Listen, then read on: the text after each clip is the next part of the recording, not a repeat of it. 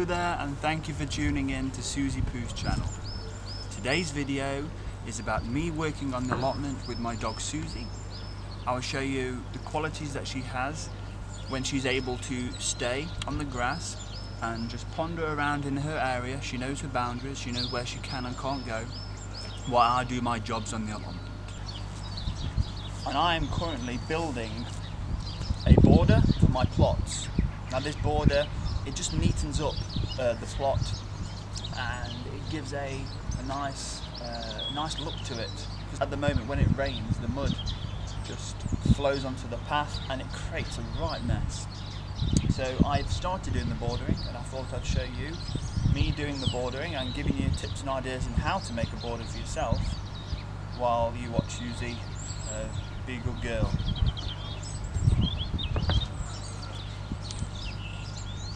So I I've run out of pallets.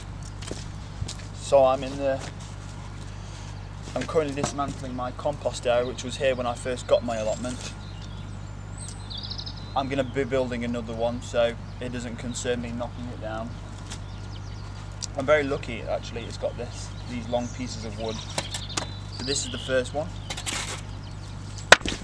So with pallet wood you you often get a lot of a lot of nails in the wood and you just flip them out and then you reuse the nails. It saves buying new ones I guess. But I've been using so many nails to make sure my my borders are firm and, and, and secure um, that I, I've come to the end of my nails. I'm only getting maybe one or two and I need three for each each section of when I'm nailing them in. So I searched my shed and I got some good quality stainless steel nails. And it will just save me a bit of time. I mean I've done I'd say over a quarter of my borders already using old nails. And there's nothing wrong with doing that at all and I highly recommend it.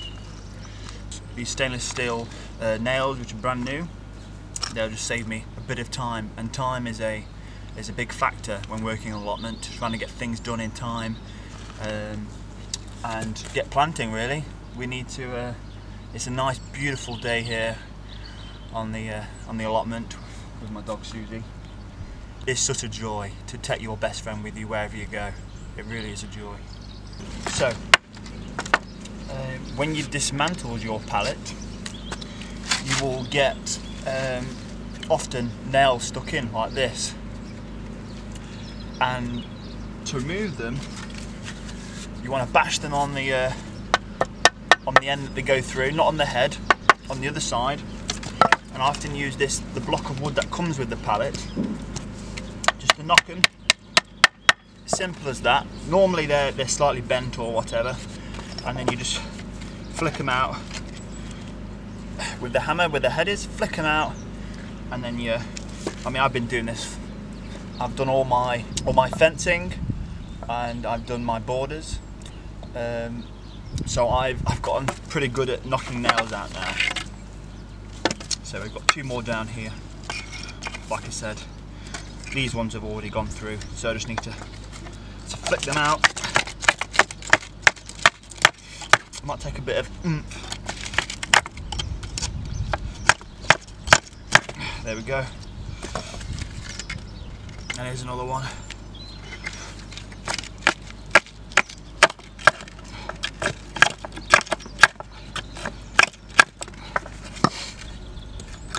When they've been when they're in there so long and they've been rusted and exposed to rain, they can be quite difficult. But uh,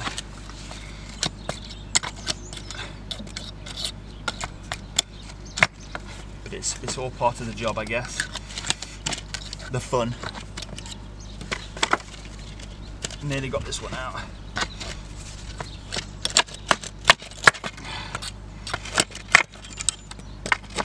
There we go.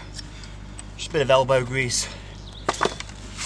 So we have, you want to be wearing gloves as well when you're doing this. You don't want to mess up your hands, especially in this.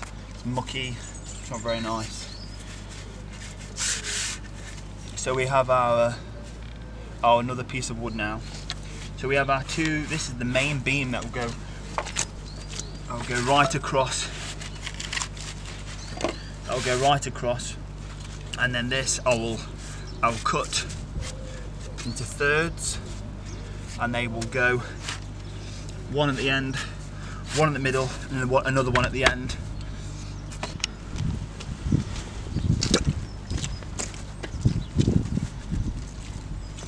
So guys, I've just gone and cut my my wood roughly into threes. It doesn't really matter if they're a bit out. I mean, they're going to be in the mud for most part. The only part they'll be showing is this much, which is the facing of these two, and the rest is going to be completely covered in mud. So I've put pallet wood that's been cut down the ends maybe, or I mean, I'm trying to make the most of my pallet wood here. So you've got your three, and the next stage you want to do is is be putting them on, and you want to make sure that these are level, 100%. So if you can see this.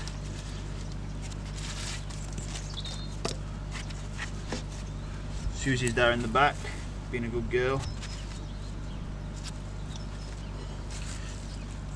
So they are in line, they are flush to the end. And then these are, then what we're gonna do is, I'll show you what I used to do. So this one is, is, is an old nail. And then you just, you hit it until it gets its shape back to its original straight and then I knock them in. Until they can't go in anymore. Until they can't go in anymore which that one can't that's hitting the ground. And I complete that with uh, two on each one. Uh, but I'm going to go back to my well I'm going to go to my stainless steel nails. Hit this one in a new one. It's the first time I've used this actually. So that can't go in anymore it's much quicker doing this way, guys. But to save the planet, I do recommend reusing your your nails. But like I said, I've used most of mine now. And I want to get cracking on with other jobs.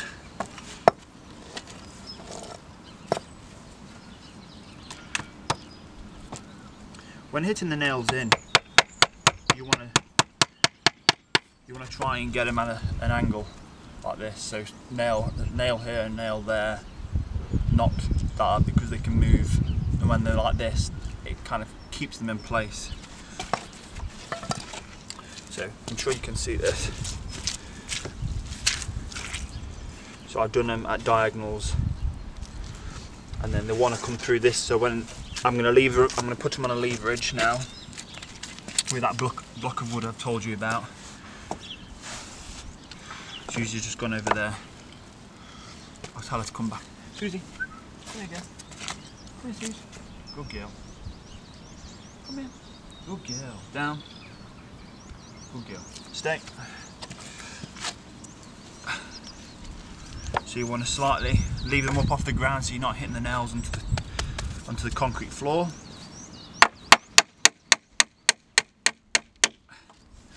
There's one in. Can you see it's come through the other side?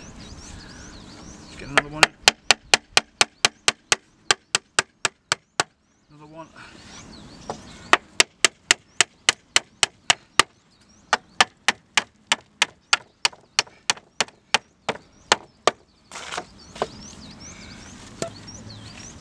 So as you can see all the nails have come through and then what we're going to do is you can buy nails to to get the size but I find that when I, I beat them down I hit them down against flush against the wood it really does give a secure and tight fit. So I will be doing that. So at this point I remove my block of wood put them flush on the ground and then I hit the nails back like that there there not going anywhere and then you want to repeat the process in the middle you want to repeat it in the middle and at the end and I'll get back to you in a minute when that's completed right so I love be being able to show my um, my my skills or my attributes, what I love doing best. I love to show what I do best, and that's just building stuff and being out in nature. Uh, there's nothing there's nothing more enjoyable for me really, and to be able to share it with my dog is is it, it, there's nothing better. So when I last showed you, there was one completed, and then I've done the same for the middle and then for the end, and then I'll take take it over there and I'll show you guys how you get it in the ground.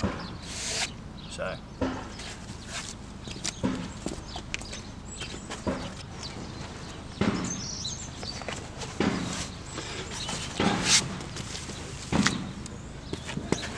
So guys, you've got your your pallet wood and you've put it into a border and I recommend putting the, the side with the nails on, the side where the, the nails have run out because I want the, the outside to look the best because the, ins the inside is going to be covered with mud.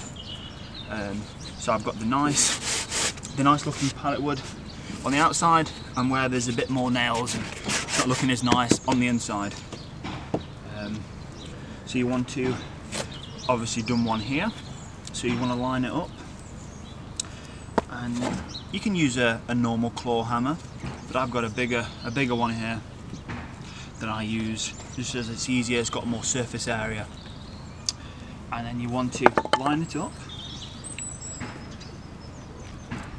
best as you can guys.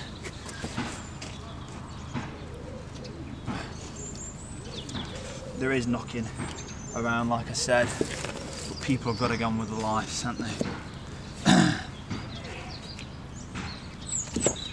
So like so? You see how close it is here? One step at a time.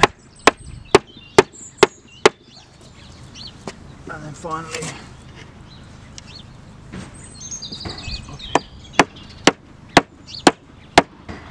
you want to go backwards and forwards keeping it level you don't want to be like this so keep going backwards and forwards until you've knocked it into the place where you want it to be.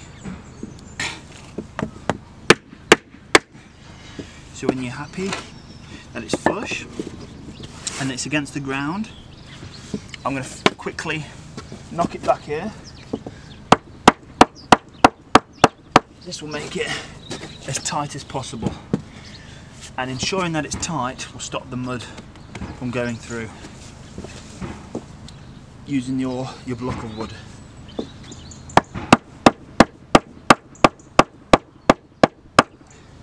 All I'm doing, slightly knocking it until I get a good finish. And I'm really happy with that guys. Another one added. Sure I'm happy with it. And then you can use a shovel, but for quickness, choose the end of this. Just make sure it's really secure. Beat it down. And that's not going anywhere. Solid. You want something that will last for time. You don't want something that will put up and fall over by winter. You don't want that. So spend time knocking good nails in. And if you think you've done a shabby job, just pull them out and do it again. It goes a long way.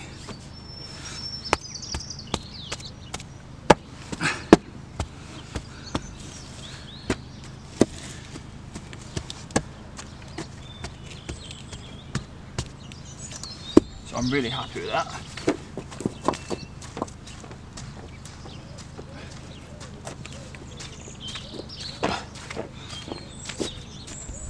Go.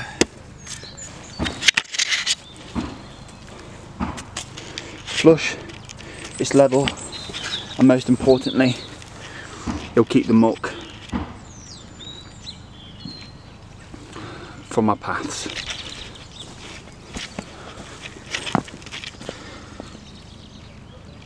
So guys, thank you so much for watching the video. This brings me so much joy to be able to, to show you guys what it's like to, to work in allotment with an obedient dog like Susie. Susie is an inspiration to live with and I hope it gives you guys a, a, a passion and a desire to, to achieve this kind of goal with a dog. And until next time, keep doing what you're doing, keep being a pack leader, and all the best. Thank you. Bye bye.